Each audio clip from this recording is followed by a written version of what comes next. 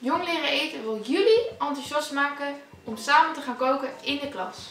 Zo ga je de nieuwe Flevolandse producten en ook smaken ontdekken. En wisten jullie dat er veel Flevolandse koks zijn die graag met jullie in de klas zouden willen gaan komen koken? Ze zijn te boeken in de lokale NME-gids. Of jullie gaan met jullie eigen juf of meester aan de slag met een online smaakmissie.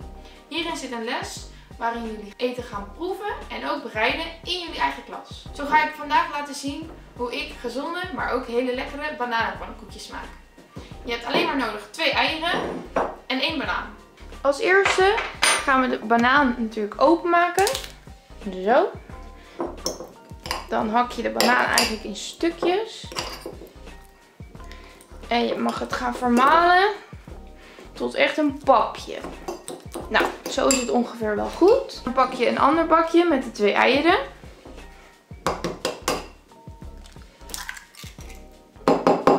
Deze doe je allebei erin. En ga je helemaal kapot maken. En één mengsel maken. En dan ga je ze samenvoegen. Dus je gooit bananen mengsel bij de eieren. Hier ga je het mengen. Zodat het één geheel wordt. Als eerste ga ik een beetje olie doen in de pan.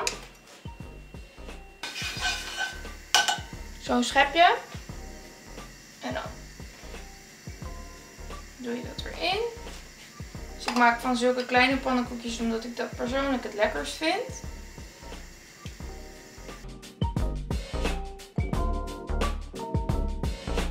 Nou, dit ziet er al best wel goed uit. Nou, als je denkt dat ze klaar zijn, kun je ze op, op je bord leggen. Nou, nu hebben we de pannenkoekjes op het bord. En ik vind het dus lekker om met aardbeidjes te doen. Dus die leg ik erop en een beetje omheen. Uh, want ik hou heel erg van aardbeien. En ze zijn bovendien ook nog eens gezond. Voor het idee. En dan is het eigenlijk klaar. Dus dan kunnen we gaan smullen van het lekkere gezonde pannenkoekjes met aardbeien en een beetje stroop.